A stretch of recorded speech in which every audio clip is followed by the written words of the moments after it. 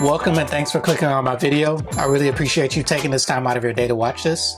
If you're not a current subscriber, go ahead and hit that subscribe button, hit that like button because you're to like this video, and also hit the notification bell so you'll be notified the next time I create a video. Today we're to talk about the trading platform Stockpile. Now in a previous video where I talked about the best accounts for beginners, I mentioned Stockpile as one of those accounts. So if you haven't seen that video, make sure you check that one out.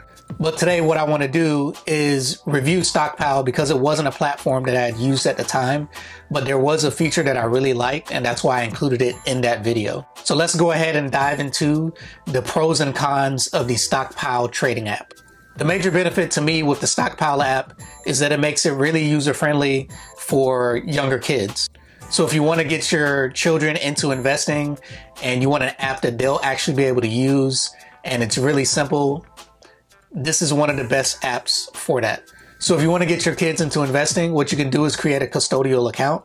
And then you can also create a separate login for your child. So your child would be able to actually log into the Stockpile app. They can actually look up the stocks that they want to purchase and once they select the stock that they want to purchase, it will then send an approval email to you as the parent, and then you can approve whether or not you allow that purchase to happen. So this is a great feature because one, it gets kids interested in investing at a very young age, but it also has the training wheels on it. So they're not in there and just, you know, spending their money all willy nilly and buying up either too much, using too much money or buying stocks that, you know, maybe you don't approve of them buying. They also have some great educational tools, some really simple videos to help people learn about how the stock market works and how to make trades and things of that nature. So that's another feature that makes it really great for young kids. So now let's get into evaluating Stockpile as just a general trading app for anyone, whether you're a kid or an adult. One of the best features of Stockpile is the fact that you can purchase fractional shares. So if you're looking to get in investing and you're just starting, especially if you're just starting, or even if you just want to make sure that 100% of the money that you are putting into the stock market is actually going into the stocks that you want to purchase. So if you're looking to get into a stock like Apple, which is around $200, or maybe even an Amazon that's around $1,900 at this point, if you only have $100 to invest, let's say every two weeks or maybe once a month, then that will limit you to the actual stocks that you can put your money in. If you were trading on one of the big trading companies like TD Ameritrade or E-Trade or a Schwab or a Fidelity or a company like that. So with Stockpile, you can put that $100 into a stock like Amazon and you can purchase a fractional share, also known as a partial share. So you don't have to actually buy the full share and with a stock like Amazon, that would be $1,900. And, you know, most people are, aren't able to afford that every month or every pay period. But with buying fractional shares, every time you have the chance, you can put as little as $5 into the stock market or into the an individual stock or ETF that you choose to purchase. Now, the feature that stood out the most to me when I made the video about the best beginner trading apps was the fact that you can purchase gift cards. So if a birthday is coming around or Christmas or some other holiday, you can purchase gift cards of stock. So you can either go online to Stockpile's website or you can go through the app or you can go to a local big box store like maybe a Walmart or a Target. And if you go to their gift card section, they should have Stockpile gift cards. So if you want to give your son or daughter or maybe a friend or a family member actual stock or a gift card towards purchasing a stock, you can go out and you can give them a piece of Amazon or Apple or, you know, whatever company you think they may be interested in. So instead of, let's say, purchasing some Nike shoes for Christmas, you could give someone the gift of Nike stock, something that's going to be worth more five, ten years from now versus some shoes that'll probably be beat up within the next year or two, you know, depending on how you take care of your shoes. Another great feature is the fact that there are no monthly fees to be within this platform. There's no minimum balance, so you can literally just start with $5, putting that into the stock market. Now, another feature which I haven't seen since uh, an older platform called Loyal3 that was bought out by another company is the fact that you can actually purchase stock with a credit or debit card. So not only can you do your normal ACH bank transfers to put money into your account, but you can actually use your debit card or your credit card, and that could allow you to, you know, either get cashback rewards or maybe travel rewards by using your credit card to purchase the stock. Now, I wouldn't recommend this for anyone that's in credit card debt and I wouldn't want someone to purchase more stock with their credit card than they would be able to with their regular bank account just because they have that ability. You want to make sure you actually have the money to purchase it. And then that's when you get the true benefit with whatever rewards you have with your credit card. With that said, that now leads me to the cons of this stockpile trading app. And sticking with the credit cards, there is a 3% fee if you were to use a credit or debit card.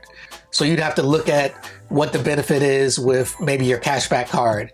If you're only getting 1%, you know, maybe paying 3% to get in a stock isn't that great. But maybe if you have travel rewards, that the benefit of getting the travel reward is greater than the 3% fee, then this may be a worthwhile transaction to use your credit card to purchase the stock and you want to make sure you pay that off immediately from your bank account. That way you can make sure that you don't incur any interest fees, which kind of negates any of the benefit that you would receive by getting cash back or some travel rewards. In addition to the fee for using a credit or a debit card account, just with any regular trade, there is a 99 cent trading fee. So whether you're purchasing with a credit card, a debit card, or a, a bank transfer, Either way, there is a 99 cent fee for every trade that you make in the account. Now you may be looking at 99 cents like, oh wow, that's great. You know, companies like TD Ameritrade or E-Trade or other brokerage accounts they actually may charge anywhere from 4.95 up to 9.99 for per trade. So when comparing to those brokerage accounts, this is actually pretty good. But nowadays there are lots of apps where you can actually trade for free.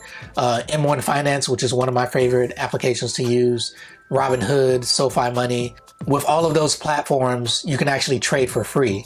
So while 99 cents isn't a lot when you compare it to the average brokerage account, there are free options out there for you. Another con with this platform is the fact that they use batch trading. Now, with batch trading, what that means is that everyone that's purchasing an individual stock or an ETF, they combine all of that money together. This is normally what companies do if they offer the option to buy fractional shares. So you have maybe 100 people buying uh, $10 worth of Apple stock. And then you have another 100 people buying $50 worth of Apple stock. They combine all of that money together and then they make one trade per day. Or they may make two trades. They may make one uh, early in the morning and they may make one in the evening time. But they combine all of the funds to purchase those stocks and they make that one or two purchases per day. So that means that you can't pick the time or the price that you're actually going to get into the stock. So for some people, that's a con. But also, if you're investing for the long term, you don't really care that, you know, this week you want to get this exact price because over time you're going to get the dollar cost averaging just by investing in the market consistently. So on a day to day trading basis, if you're investing for the long term, this doesn't actually matter. So as far as some general features of the Stockpile app, you can go on their website and trade. They have a trading app that works on Android and iPhone. And I forgot to mention earlier in the video, as far as using a credit card to purchase stock, if you have an iPhone, you can actually use Apple Pay as well. I don't see any mention of Android Pay or Samsung Pay on their website, but maybe that's something that they're working on for the future. So within the app, they also have a growth calculator. So you can actually use this feature to see how much your money can grow over the next one, five year, or 10 year period. So based on putting $50 a month or $25 a month, however much you can afford to consistently put into the market every month, you can use that amount Plus, they have a little slider where you can actually check the percentage gain that you think that you'll be able to average over that time period. And then it can let you know how much money you'll have after a year, five years, or 10 years. So this is a really great feature for, especially if someone's a kid and they just want to go on the app and just guesstimate, okay, if I'm able to consistently put in $50 a month, you know, I'm going to have $10,000 over a 10 year period. All right, guys, thanks for taking the time to watch this video. I hope this review of Stockpile was helpful. Uh, let me know in the comments if this is an application that you use or that maybe you plan on using after learning the features of this app. Uh, again, thanks for watching the video. If you're not a current subscriber, make sure you hit that subscribe button down below.